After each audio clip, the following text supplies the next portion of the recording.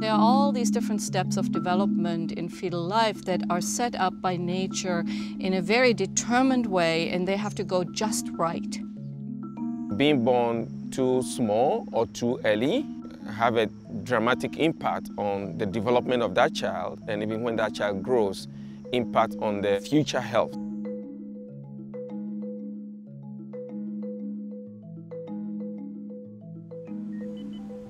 We tend to be so focused on what we have to deal with at the moment. I think it's important to look back up the chain and see what the modifiable factors are.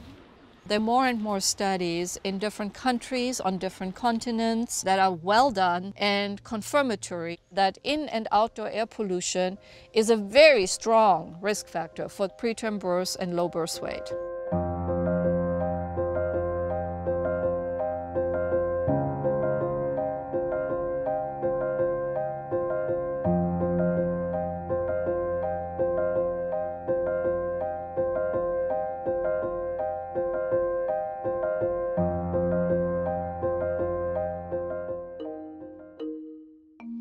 The case for air pollution contributing to birth outcomes happened over decades. It started with the recognition that smoking in pregnancy is bad for a woman's health and bad for the fetal development. By the 90s, every woman was told to stop smoking in pregnancy.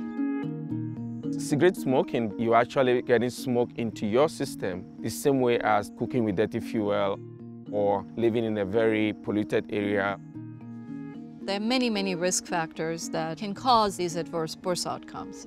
How strong of a risk factor air pollution is depends on the individual situation. However, at a population level, it has a large impact because the whole population's birth weight curve is shifted by 10 grams to lower weight. That may not mean much at the mean of the curve, because the mean of the curve is the average birth weight, and those babies are probably just fine. But it means a lot at the end of the curve. Those children who are already vulnerable with a very low birth weight, then being so low birth weight that they can't cope anymore. There's also lots of disparities.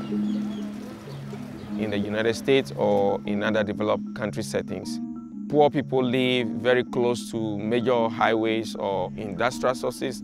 In low-income countries, a certain segment of the population are cooking with coal, wood, in mostly an enclosed environment.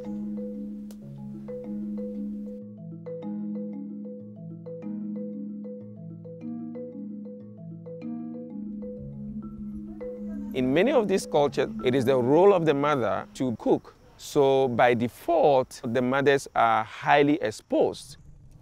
Working in Peru, in Tibet, seeing mother and baby right there with the most direct exposure really brought home the impact of air pollution for me. I think it's so important that the Global Burden of Disease Project is really addressing air pollution and low birth weight preterm birth. This hasn't really been brought into focus for health professionals or policymakers, I think, in a, a meaningful way. These risk factors that are with us all the time often get ignored. When I came to LA, I for the first time felt that in my lungs. We've seen studies over and over again showing these outcomes happen when you're exposed. It is something I grew up with you could brush out, you know, black particle or black soot from your nose. People are still living with that.